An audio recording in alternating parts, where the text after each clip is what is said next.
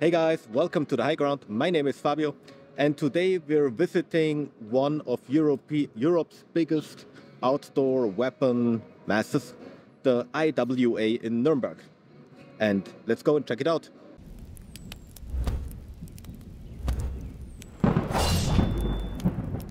You can see the IWA as a European version of the SHOT Show. The IWA is really more geared towards the private individual and not so much for LEO or armed forces personnel.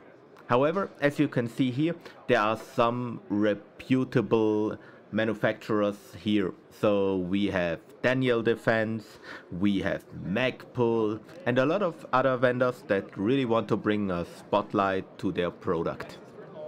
And the new cases from Magpul were something that I really wanted to try out.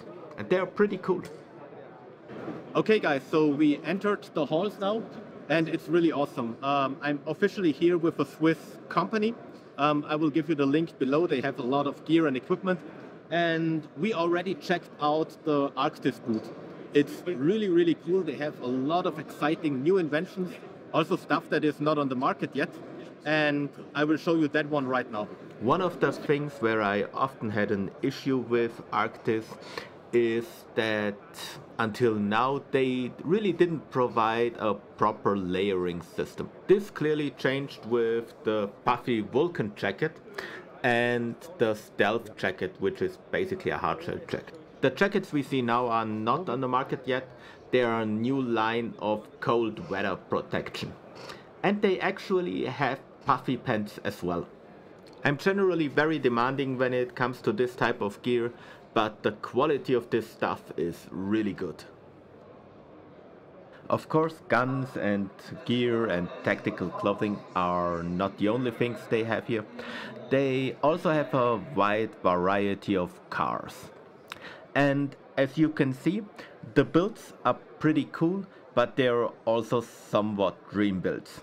I mean, if you have an Unimog and you still need a roof tent, you have to tune down your requirements in space. Unfortunately, there hasn't been too much new stuff out, but a few very interesting things came up, and this is what I want to share with you now. The first thing I want to show you are Archeron suppressors.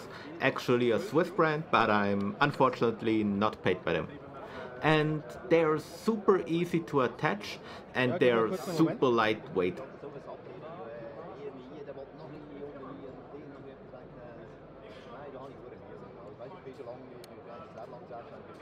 And they have them for large caliber rifles as well as pistols.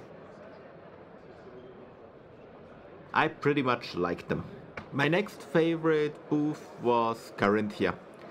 They have uh, currently a line of ponchos that really works with a layering system and that looks pretty cool.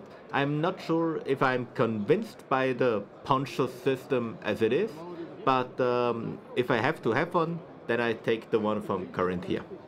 And yeah, as usual, a lot of high quality cold weather gear. And they might start doing uniforms. Okay, so we took a stroll outside, especially to de-water the dogs. And uh, now we're going back in. We already saw one, one hall.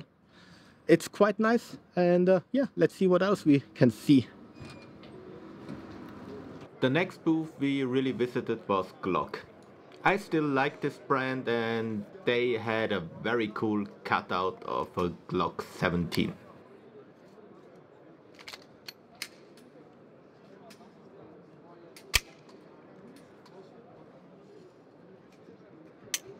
Otherwise a lot of different models and of course the new G47. And very interesting their performance trigger, which is actually much better than the factory one. Now those were the highlights and of course there was a lot of other stuff like knives and stuff. Even Steyr was there with the famous Steyr AUG. But still, I mean, even the Heckler and Koch booth, right? They had their complete lineup there, but they all really didn't bring something new to the table. The people were fascinated if they haven't to do with guns a lot. But for us, was it really like, yeah, nice, but only nice. Yeah, and that was already it from the IWA. Only the news, no bullshit. I hope you liked that video. If you did so, give us a thumbs up. Thank you for watching, follow the channel, and I'll see you next time.